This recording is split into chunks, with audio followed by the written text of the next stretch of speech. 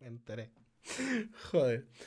Hostia. eh, Gargoyles era de un espacio que tenía Disney que... mm, Disney Afternoon creo que se llamaba, o ya le habían cambiado el nombre después. Eh, y en ese, en ese espacio hubo cosas que fueron mi puta infancia. O sea, había una, había una serie que la recuerdo muy poco, porque la veía muy de niño. Tengo recuerdo de, de hablar de ella en, en clase de gimnasia siendo súper pequeñitos y discutir sobre si, la, sobre si el verbo es pilotar o pilotear. Era una serie de Balú, el del libro de la selva, que tenía un, un sidekick, un niño, un niño oso, e iba vestido y era piloto. Y plan de, Vale. Ahora Balú es piloto. Ok, no necesito más información. Y entonces, eh, creo que solía llevar cargamentos y había piratas del aire o algo así. No me acuerdo casi nada, yo os digo. Me acuerdo de... ¿Esa mierda existe? Gente, os juro que esa mierda existe. Os juro que esa mierda existe. Balú piloto, ¿vale? Y entonces, al hablar, eh, estaba en latino. ¿vale? Esa serie nos llegaba totalmente en latino. Entonces decía, voy a pilotear este avión. Y era plan, pues será pilotear. Y yo recuerdo que, no, es pilotar. Y lo es pilotear, que lo dice Balú. Y yo, pero estoy razonablemente convencido de que el verbo es pilotar. Eh, la serie se llamaba Tailspin. Aquí tendría otro nombre porque no me suena para nada. Deja las drogas. Os juro que eso existe. Gente. Tailspin, dices. Como, como ahora me salga Benten con Gwen. Ahí está. ¡Mirad! ¡No estoy loco! ¿Veis? Este era el sidekick. Que por cierto, esta imagen queda un poquito preocupante, ¿eh? Este. No le digan a la policía. El niño en plan de. ¡Mamá! Hostia, esta gente ha muerto. Joder, eh, pues era, era Balú con ropa y el niño este con gorra y, no sé, era contrabando de cocaína, ¿vale? No, no, no sé, no sé de qué iba esta mierda.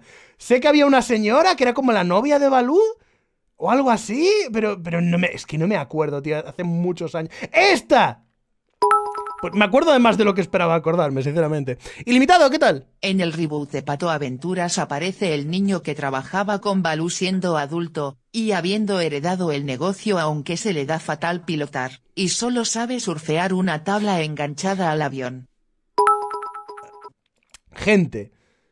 La mejor serie de, de mi infancia, de, de súper chiquitito, ¿vale? Esto es.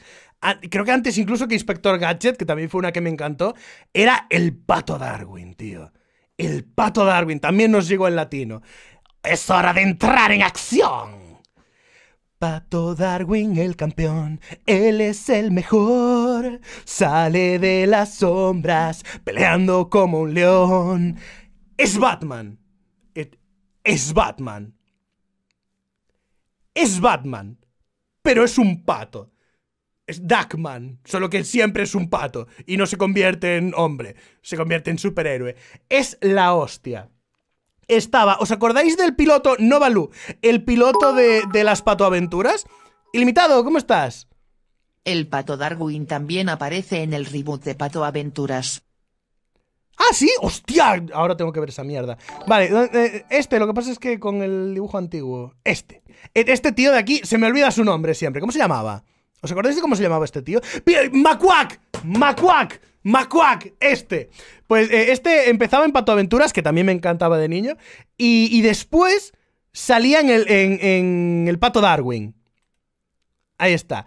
Entonces, era un superhéroe, ¿vale? Que por las noches iba por la ciudad y narraba como si fuera un cómic de estos Dark Angsty, pero, pero de coña, ¿no? En plan de. em, yo qué sé. em, oscuro como el sobaco de un grillo. Pues, misterioso como esa novela a la que le falta la última página. Ese, ese tipo de mierdas. Y aparecía entre el humo, ¿no? Y echaba bombas de humo y aparecía y desaparecía. Y tenía una pistola con una ventosa. Y entonces llegaba hasta el lado, se pegaba la ventosa y se descolgaba con la cuerda. Era Batman, pero de comedia. Entonces tenía, tenía una hija adoptiva que se llamaba Gosling, que también tenía una película esta serie, que era un poco el inicio de la serie y que era buenísima.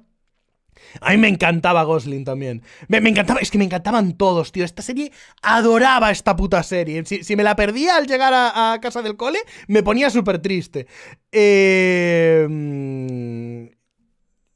era súper guay porque era en plan de, tengo que ser, por el día tengo que ser padre de esta niña hiperactiva y demasiado inteligente, mi sidekick es muy tonto pero muy bonachón y no tiene identidad secreta alguna, así que el hecho de vivir juntos igual me perjudica, pero afortunadamente no.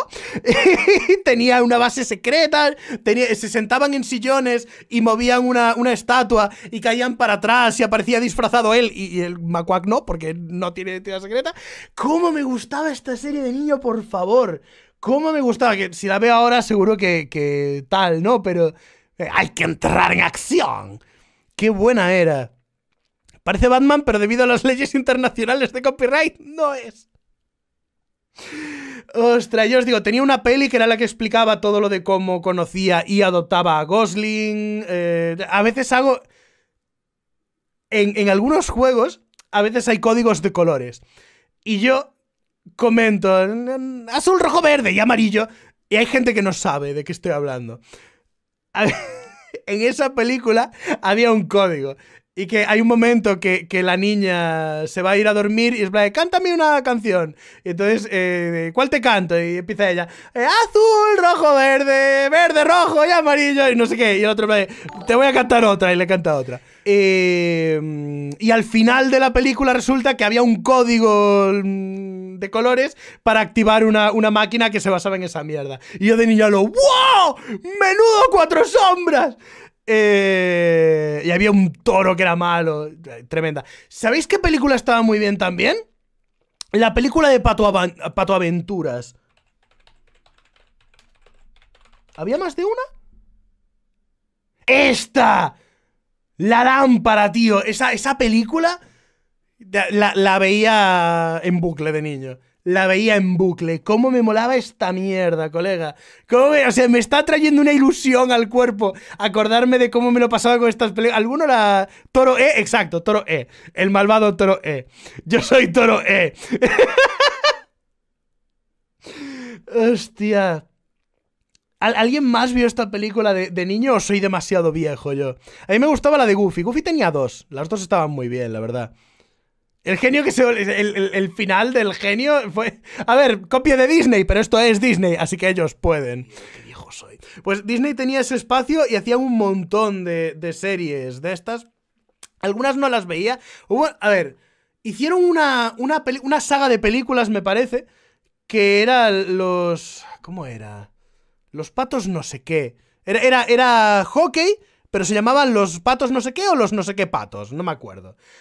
Y luego decidieron hacer una serie de televisión con el mismo nombre, pero que no tenía nada que ver. Eran patos, lo cual tiene sentido el nombre. Eran patos y, y, jugaban al hockey, pero como en el futuro con rayos láser, no me gustaba para nada. O sea, pasé de esa serie con, con todo mi ser.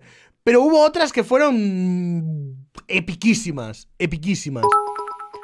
Yo soy el terror que aletea en la noche. Soy la goma de mascar que, se enreda en tu pelo. Soy la goma de mascar que se enreda en tu pelo. Soy el teléfono que te despierta de madrugada.